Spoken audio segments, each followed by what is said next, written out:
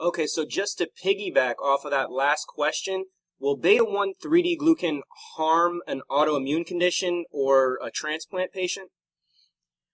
Boy, that that's a question that I get quite often, and I want to tell you with with uh, sincere honesty, there's not a whole lot of people around that, that have read and studied and associated with the world's experts uh, on this topic uh, more than myself.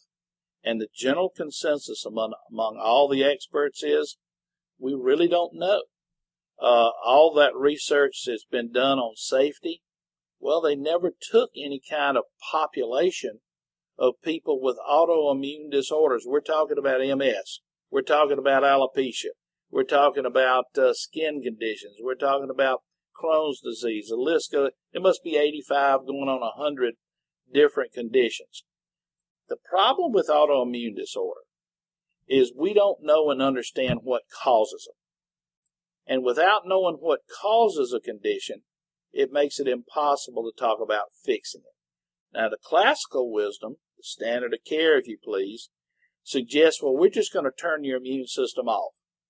We're going to use things like prednisone, cortisone, other corticosteroids, maybe even certain types of chemotherapy to shut down your immune system.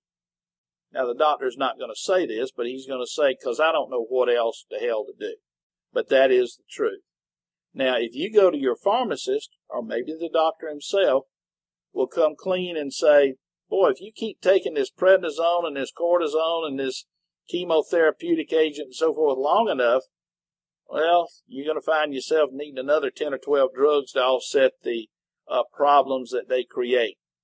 So, that being said, I would say that a person with an autoimmune condition needs to sit down with their pharmacist, sit down with their medical doctor, and have a clear understanding. In fact, they need to have a copy of an excellent book written by one of the top researchers in the world, Dr. Vaclav Vetvicka at University uh, of Louisville.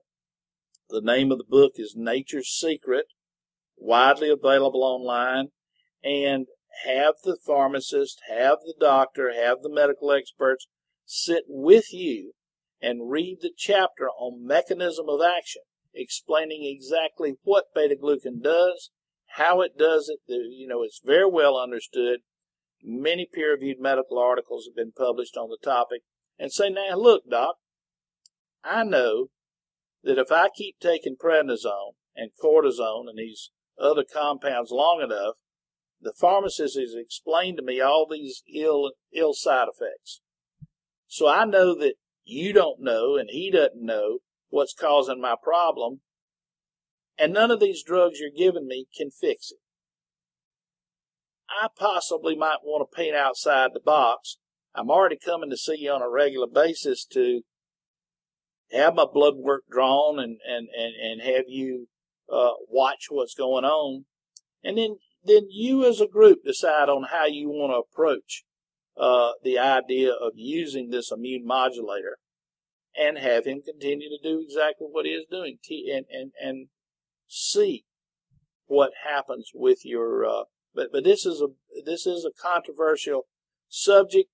Uh, and, and, you know, it would be a lot easier if you came to me and said, look, you know, I've got a staph infection and I'm taking penicillin or I've got, uh, a tooth being pulled, or I'm, I'm on chemotherapy for, for a particular type of cancer, I can tell you without a doubt that the compound would be 100% safe and not interfere with any of your medications. But when it comes to autoimmune disorder, that's one that, that we simply choose to stay out of the middle of.